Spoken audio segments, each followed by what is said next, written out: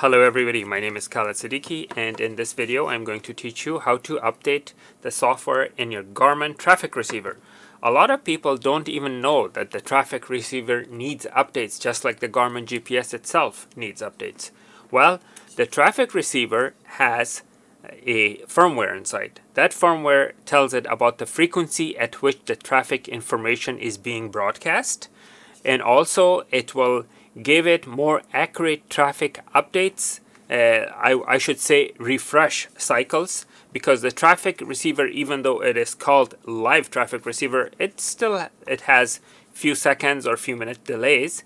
For example, if there is an accident on the freeway, immediately as the accident happens, this doesn't know that there's an accident. So it takes a minute for this to update itself and let you know on the GPS screen that you know what in the freeway that you're going to there will be an accident. That's why you need to update the traffic receiver software for it to be more up to date and to, for it to refresh itself much faster with the traffic information that's being broadcasted.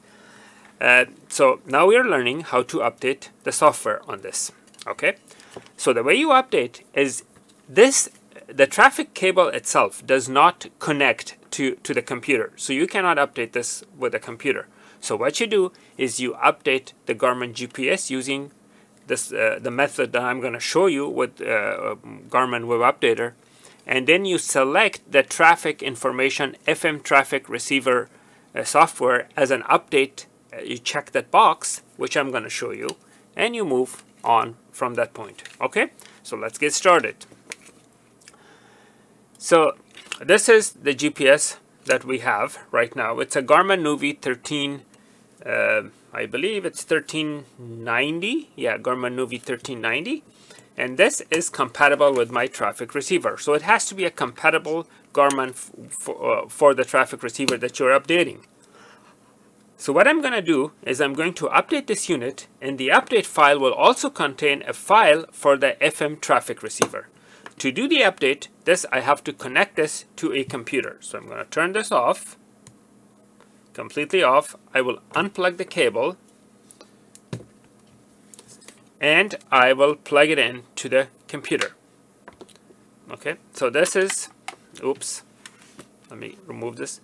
This goes to the computer and as soon as I plug it in, watch, this will turn on and it, you will see a little bar underneath and it shows a little PC in the middle which means it is connected to a computer. And at this point I'm going to switch the screen to the computer screen so you could see what's going on. Okay? So let's see what's going on with the computer screen. Now at the bottom uh, right corner of the computer screen uh, you should be uh, right here you should see uh, the detection of the Garmin as soon as the detection happens.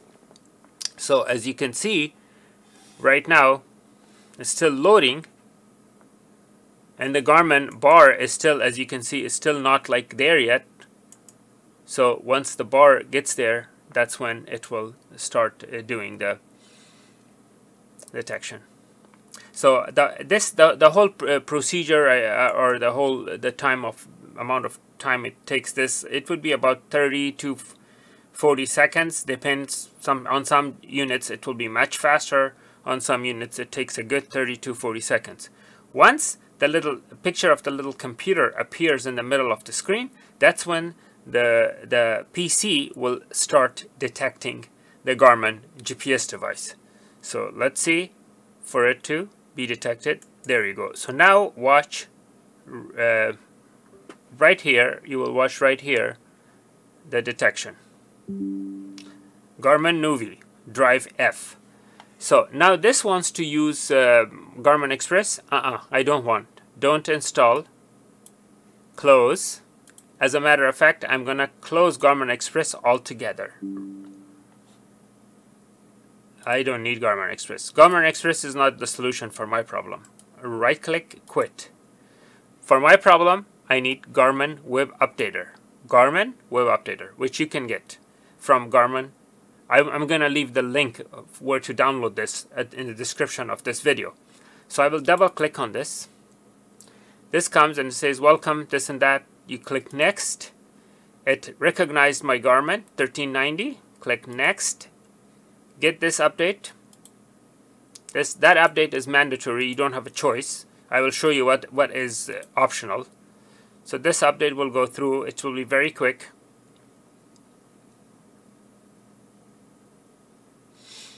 This will be less than a minute. It says one minute remaining, but it's not going to be a minute. It will be few seconds.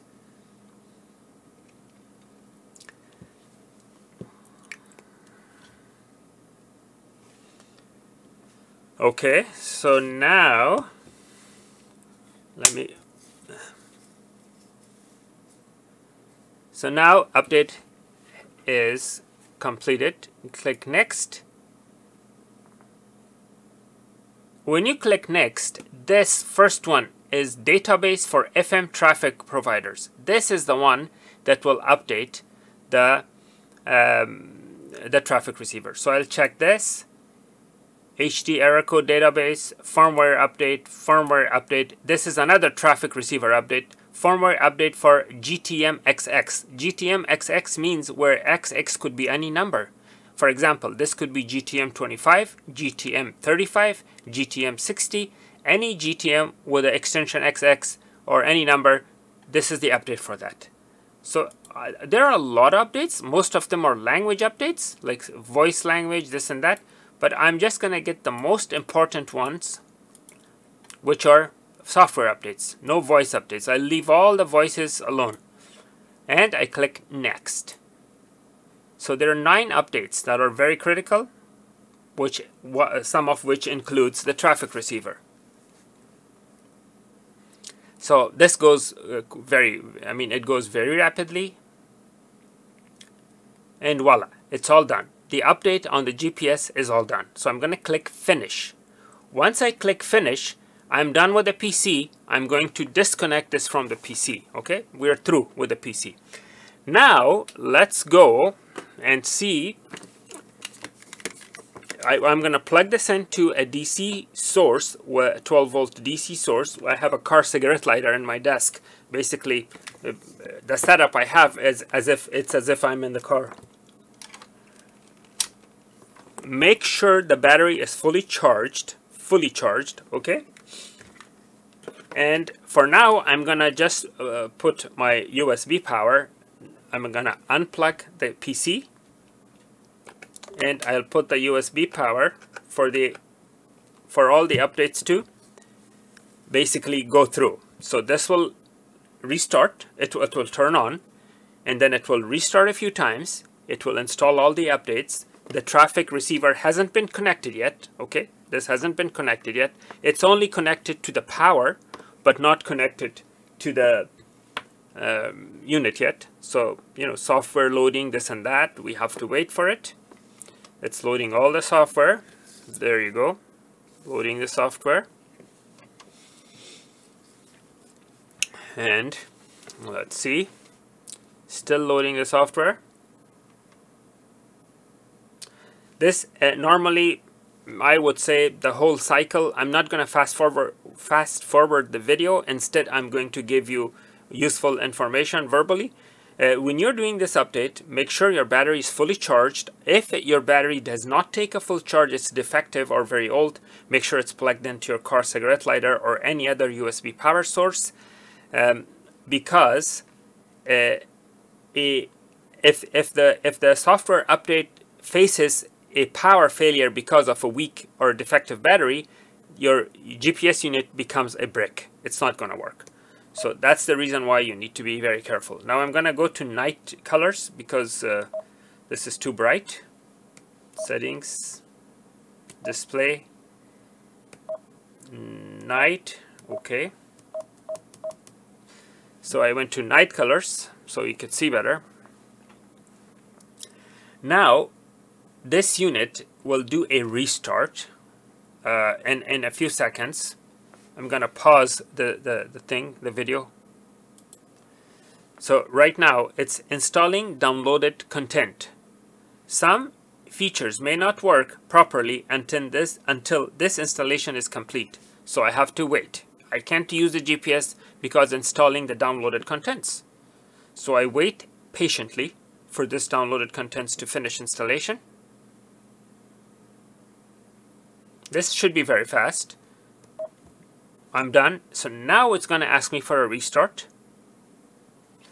This device has been successfully updated. There are additional updates that require a restart to take effect. Would you like to restart now? Absolutely.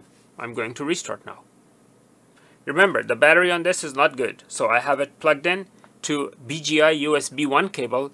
The BGI USB 1 cable is the only cable that allows you to use the GPS with external power without having it go go go without making it go uh, go to the USB uh, sync mode or PC sync mode. That's why I'm not getting the PC sync. Otherwise, any other USB cable, even if you plug it into a battery bank, gives you the USB PC sync.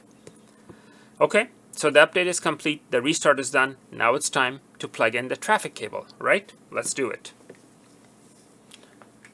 We are unplugging the regular cable and plugging in the traffic cable. Bingo. And watch what you see. Receiver. But it takes a minute but you will see.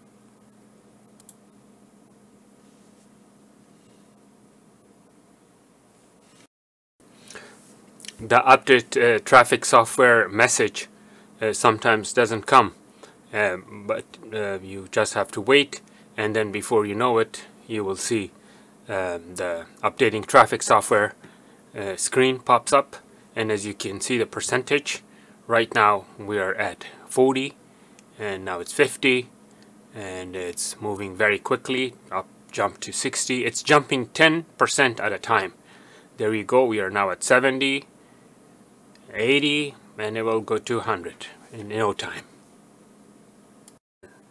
traffic receiver software updated. Okay. And bingo. We're good to go. The software is up to date.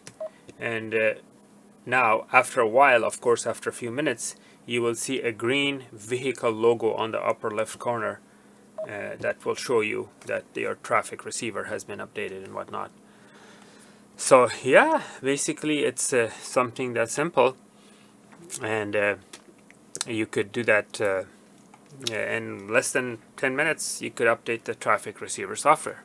Alright, thank you for watching. Please make sure to like and subscribe.